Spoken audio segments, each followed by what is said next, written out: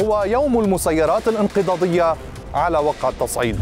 هذه الطائرة المسيرة التي كانت تشق طريقها من الأجواء اللبنانية باتجاه الجليل لم تكن وحدها. أكثر من ست طائرات مسيرة على الأقل أطلقها حزب الله باتجاه مواقع إسرائيلية.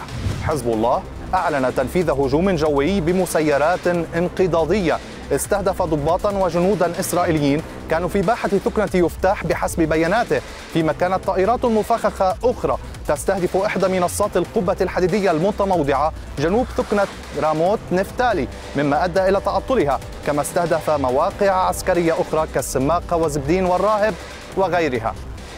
هجوم المسيرات هذا استدعى استنفارا اسرائيليا. فدوت صفارات الإنذار في معظم مناطق الجليل الأعلى كما رد الجيش الإسرائيلي بسلسلة غارات عنيفة على عدة بلدات حدودية أبرزها في مارون الرأس وبليدة وعيت الشعب والخيام وكفر حمام. ولليوم الثاني على التوالي كانت الطائرات الإسرائيلية تحلق على علو منخفض فوق القرى الحدودية. أسراب الطائرات هذه تؤشر إلى تصعيد كبير حيث جرت العادة أن أي هجوم بمسيرات مفخخة يقابل باستهداف إسرائيلي خارج قواعد الاشتباك المتعارف عليها وأي استهداف للجولان يقابل بضربات إسرائيلية في العمق اللبناني. وصلت سابقا إلى منطقة الهرمل في البقاع شرقي لبنان وآخرها في بعلبك.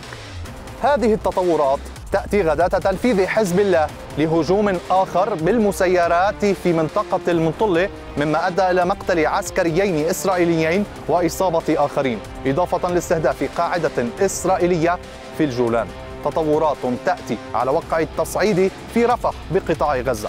فالجبهة اللبنانية التي قال حزب الله إنها جبهة إسناد لغزة ستبقى على ما يبدو رهينة أحداثها ويومياتها وهذا يعني أن فتيل التفجير هذا سيبقى مشتعلا بانتظار مفاوضات قد تفضي إلى وقف لإطلاق النار. سلمان عندار سكاي نيوز عربية من مرجعيون جنوبي لبنان.